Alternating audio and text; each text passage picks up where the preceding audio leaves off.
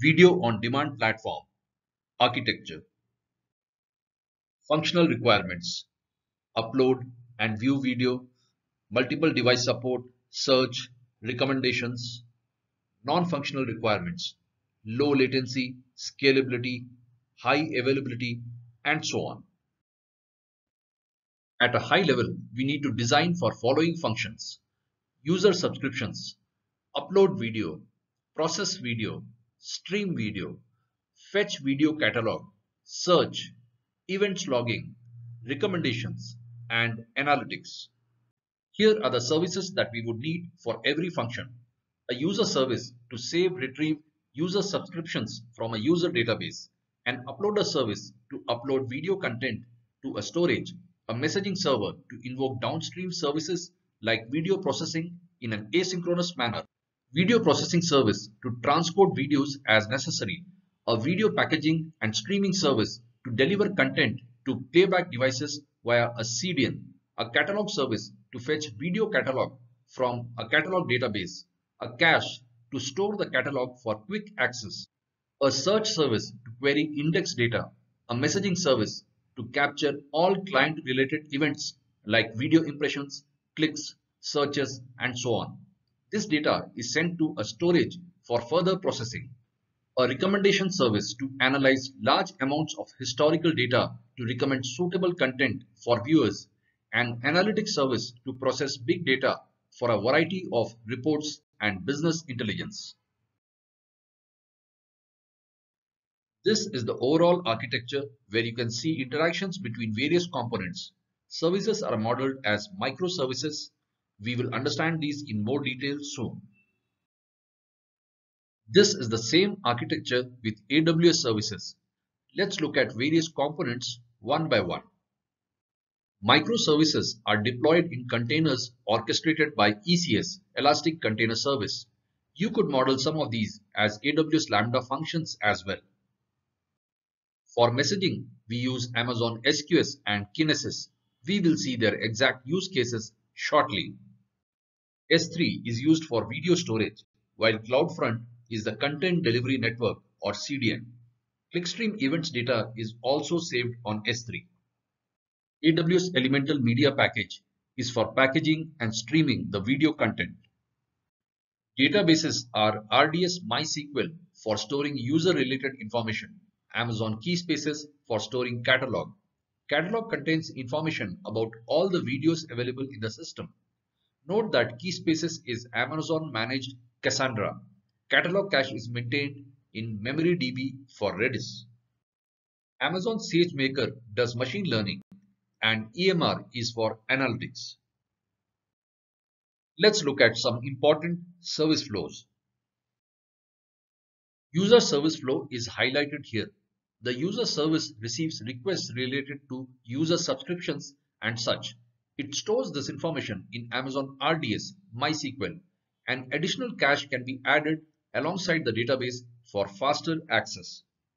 Uploader service receives video uploads which are then placed in a S3 bucket and an entry is made in catalog database.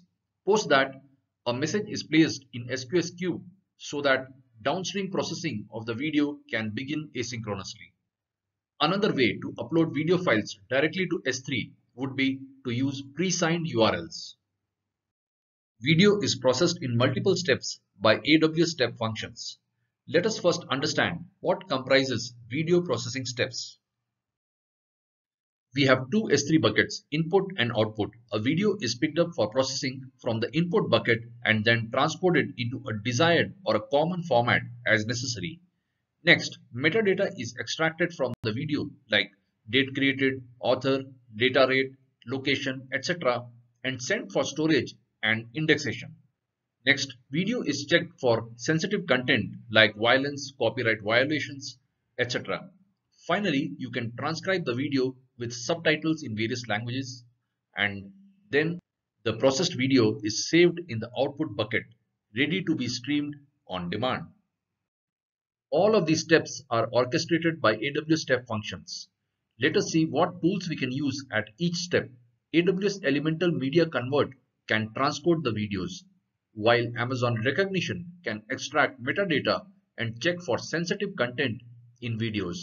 The metadata can be saved in database and ingested into OpenSearch using Lambda functions. Amazon Transcribe and Translate can help with subtitles.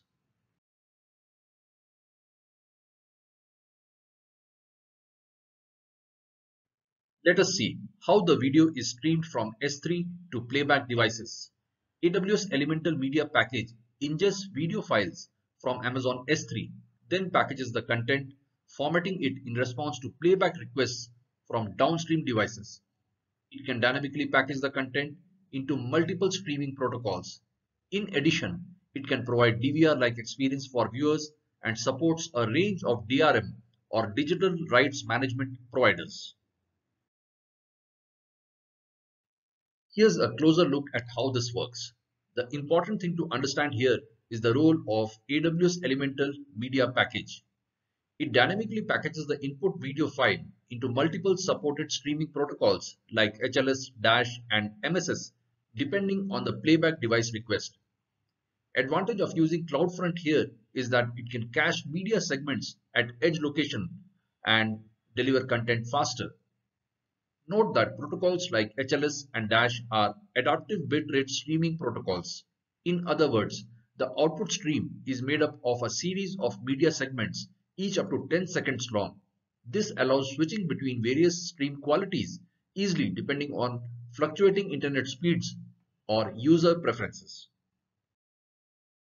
When client needs list of video titles to display, it sends request to the catalog service which fetches it from a catalog cache that is MemoryDB for Redis cache.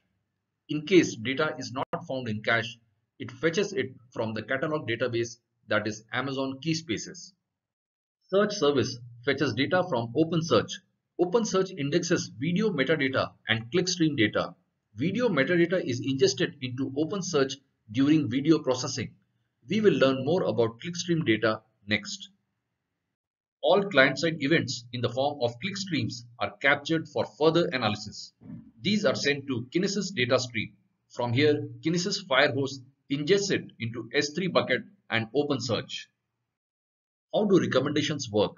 Amazon SageMaker, which is a machine learning service, deploys machine learning models to find the best videos to recommend based on users' history of viewing, searching, browsing, and so on. All of this data is captured via the events clickstream we have seen earlier.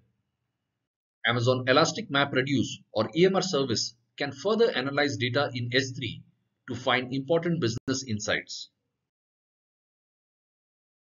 That brings us to the end of our discussion. This should give you a good idea of how to architect a video on demand platform.